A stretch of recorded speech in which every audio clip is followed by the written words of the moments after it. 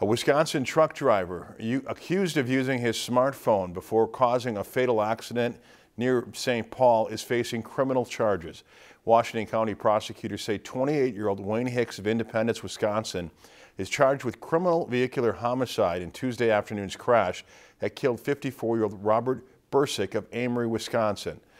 Prosecutors say Hicks admitted to texting with his girlfriend and searching an app for houses on his phone prior to the crash in Lake Elmo. The complaint says Hicks was going 63 miles per hour and made no effort to stop before rear-ending Bursick's vehicle.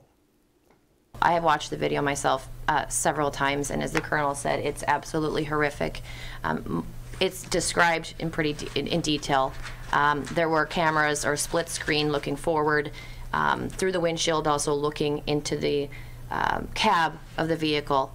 Um, and according, as I put in the complaint, the driver is seen and appears to be looking at his phone um, for at least an entire eight seconds before striking the vehicle.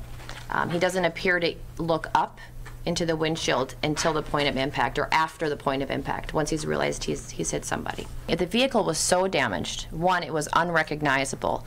Um, the back end was pushed up so far all the way into the driver's seat. The sides of the vehicle were completely mangled. Um, they were unable to extract him at the scene. So the vehicle was towed to a local fire department. Uh, my understanding is they spent hours taking the car apart in order to take his body out, correct? What we need to do is get to the point where we all say enough is enough. And we commit to putting everything else down and putting everything else away and giving uh, our full attention to driving. And had that happened on Tuesday afternoon, there's no doubt in my mind that Mr. Bursick would have been home to his family instead of headed to the morgue. We do have an epidemic, as the colonel says, on our road.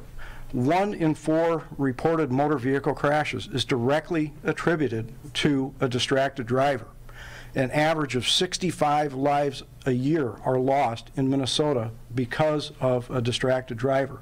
This crash is just the latest in that litany of tragedies that litters our roadways and the ditches around them. Hicks could be sentenced to up to 10 years in prison if convicted. If you enjoyed this segment of Lakeland News, please consider making a tax-deductible contribution to Lakeland PBS.